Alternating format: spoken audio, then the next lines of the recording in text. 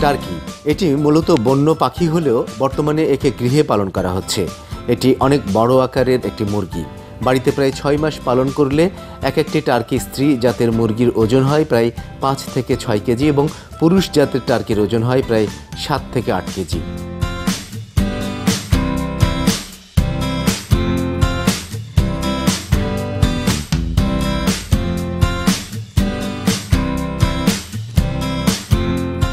একে বাড়িতে দেশি মুরগির মতো করে পালন করা যায়। এই টার্কি মুরগি, কলমি শাক, গম, ভুট্টা, চাল, ভাত সব খাবারই খায়। তবে দানাদার খাবারের চেয়ে কলমি শাক ও বাঁধাকপি বেশি পছন্দ করে। বর্তমানে টার্কি পালন করে অনেক বেকার যুবক তাদের আর্থিক সচ্ছলতা এনেছে। তেমনই একজন দেলোয়ার হোসেন। মাত্র এক বছরের ব্যবধানে বিনিয়োগকৃত পুঁজি ঘরে ওঠার পাশাপাশি তার খামারে এখন রয়েছে আট থেকে দশ লক্ষ টাকার টার্কি মুরগি। দুলালের সফলতা দেখে এখন মাগুরা সহ আশেপাশের জেলার অনেক যুবকই গড়ে তুলেছেন টার্কি মুরগির খামার।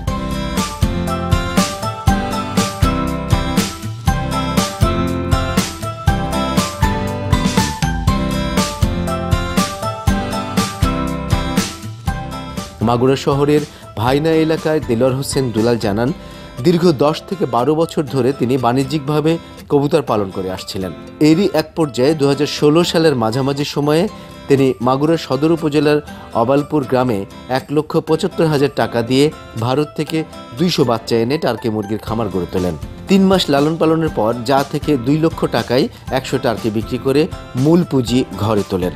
এরপর তিনি মাত্র পঞ্চাশ হাজার টাকা দিয়ে একটি ইনকিউবেটর মেশিন কিনে তার খামারে উৎপাদিত ডিম থেকে বাচ্চা ফোটানো শুরু করেন।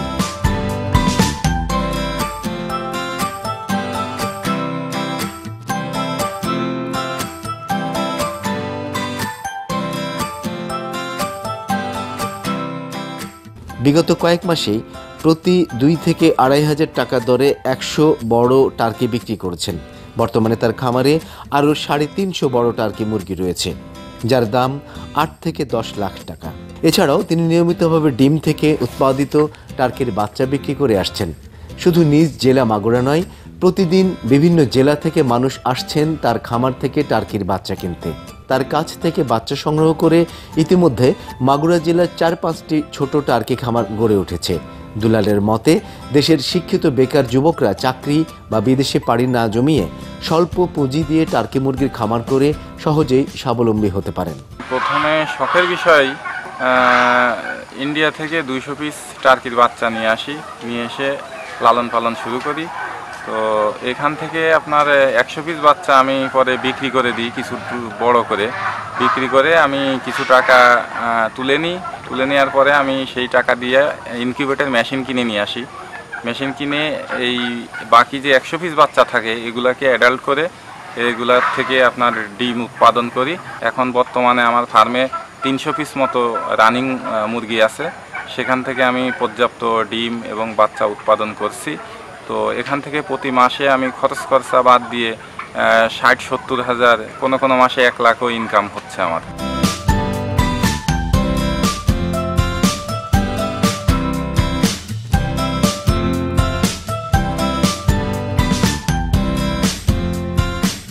মধুখালী ও ফরিদপুর থেকে দুলালের টার্কির খামারে আসে দুই যুবক, মোতালেব হোসেন ও সুজন মোল্লা জানান তারা ইন্টারনেটে দুলালের টার্কি পালনের সফলতার কথা জানতে পেরে এখান থেকেই আগে কিছু বাচ্চা কিনেছেন।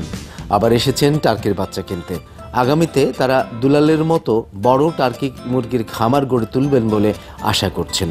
আমি মধুখাল থেকে এসেছি দুলাল বাড়ির ফার্মে টার্কি ফার্মে। এখান থেকে আমি বাচ্চা নিয়ে ফার্ম করতেছি বাড়ি নতুন একটা এটা একটা লাভজনক ব্যবসা। আমি ফরিদপুর থেকে আইছি দুলাভাই টার্কিতে। ইন্টারনেটে আমি সার্চ দিয়ে দেখছি। আমার ইচ্ছা আছে এরকম একটা টার্কি করার ইচ্ছা। এই জন্য আমি বাচ্চা নিতে এসেছি। জেলা প্রাণী সম্পদ কর্মকর্তা বলেন টার্কি পালন করে মাগুরার দেলোয়ার হোসেন দুলাল স্বাবলম্বী হয়েছেন।